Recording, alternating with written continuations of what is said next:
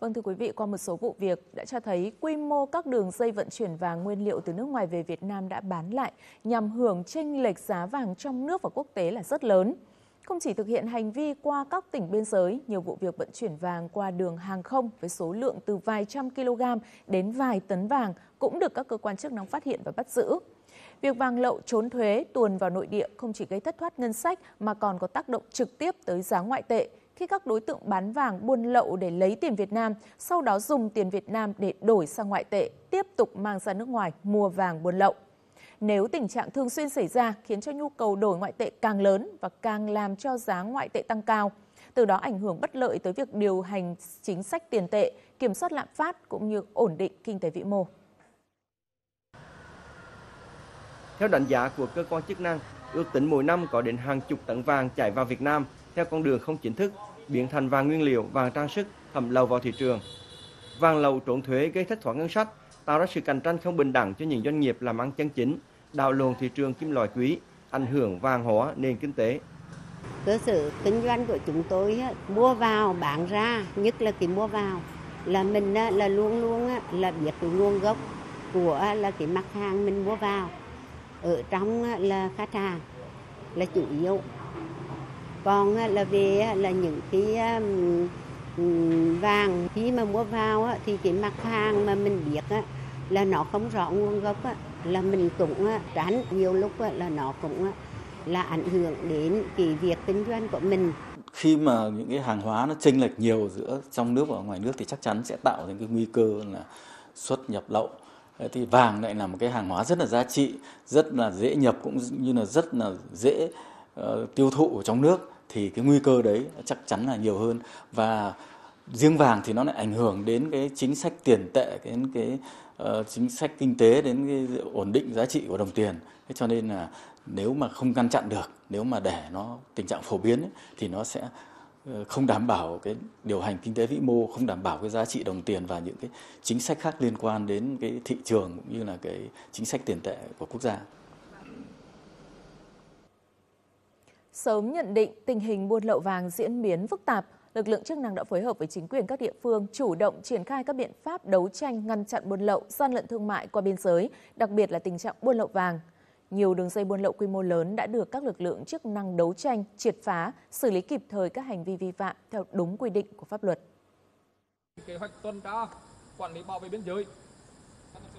một buổi tuần tra mật phục trong đêm của cán bộ chiến sĩ thuộc đồn biên phòng cửa khẩu quốc tế Cầu Treo Hà Tĩnh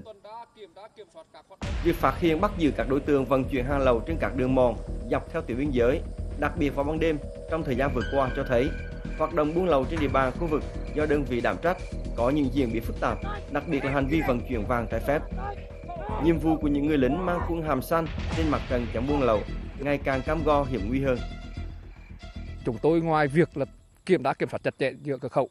thì tổ chức tuần tra kiểm đã kiểm soát và mật phục hai bên cạnh ga cửa khẩu vào cả ban ngày và ban đêm đặc biệt là tại các cái vị trí trọng điểm các cái đường mòn các cái vị trí các cái đường đi lối lại mà các đối tượng thường hay lợi dụng vào ban đêm để vận chuyển để mang vác hàng cấm trong đó có vàng ngoại tệ kiếm khí qua biên giới cửa khẩu.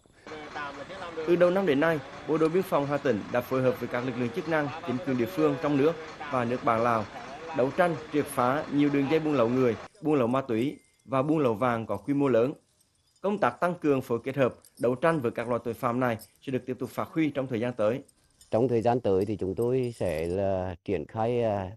lực lượng trên hai tuyến biên giới, đặc biệt là xây dựng các cái cơ sở ở ngoài biên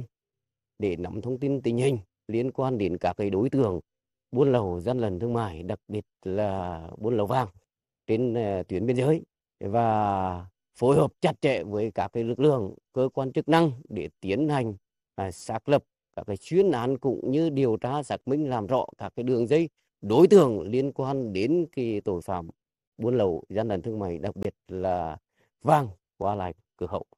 Bên cạnh ờ, công tác thực hiện các công tác nhiệm vụ thì ờ, đơn vị cũng rất là chú trọng đến công tác tuyên truyền, đặc biệt là tuyên truyền công tác là đối với người dân, đối với doanh nghiệp khi mà đi họ thường xuyên đi qua cửa khẩu ờ, bằng các cái hình thức như là tờ rơi, các hình thức là tuyên truyền tổ chức các cái đợt tuyên truyền đối với uh, cư dân uh, trong khu vực biên giới. Chúng tôi sẽ uh, tiếp tục phân tích mổ xẻ đối với vấn đề đấu tranh các loại tội phạm, đặc biệt là tội phạm vàng mới nổi lên vừa rồi thì và cũng à, đề ra những cái phương án, những cái à, cách thức để mà nhằm phối kết hợp làm sao kiểm soát chặt chẽ hơn trong thời gian tới. Để kiềm chế, giảm thiểu đấu tranh ngăn chặn tội phạm buôn bán vận chuyển vàng, tiền tệ qua biên giới, thời gian qua, Bộ Tư lệnh Bộ đội biên phòng thường xuyên chỉ đạo Bộ đội biên phòng các tỉnh thành phố trên cả nước, nhất là ở khu vực trọng điểm, tăng cường triển khai biện pháp nghiệp vụ, chủ động kiểm soát tình hình, phát hiện đấu tranh và xử lý kịp thời, nghiêm minh các hành vi buôn lậu, vận chuyển trái phép vàng, tiền tệ qua biên giới. Cùng với đó, tích cực phối hợp với các cơ quan chức năng, tiến hành tuần tra kiểm soát, lập chuyên án đấu tranh, không để địa bàn quản lý trở thành điểm nóng về các hoạt động buôn lậu, vận chuyển trái phép vàng, tiền tệ qua biên giới. Chúng tôi đã tăng cường thêm lực lượng, đặc biệt lực lượng nghiệp vụ bộ chỉ huy biên phòng tỉnh xác lập các kế hoạch nghiệp vụ để phát hiện và điều tra phối hợp chặt chẽ với các lực lượng tại các biên giới và đặc biệt tại các cửa khẩu để kiểm tra kiểm soát chặt chẽ các đối tượng nhập lậu vàng qua biên giới. Việc tích cực phối hợp giữa các lực lượng chức năng như Bộ đội Biên phòng, Công an, Hải quan sẽ góp phần kiềm chế, giảm thiểu, đấu tranh ngăn chặn tội phạm buôn lậu, buôn bán vận chuyển vàng, tiền tệ qua biên giới. Quá trình phối hợp cũng cần đảm bảo thực hiện đúng các quy định của pháp luật, tạo điều kiện thuận lợi cho hoạt động sản xuất kinh doanh, xuất nhập khẩu, xuất nhập cảnh, không làm ảnh hưởng hoặc cản trở hoạt động sản xuất, vận chuyển, kinh doanh, xuất nhập khẩu hàng hóa bình thường, đúng pháp luật của các tổ chức cá nhân.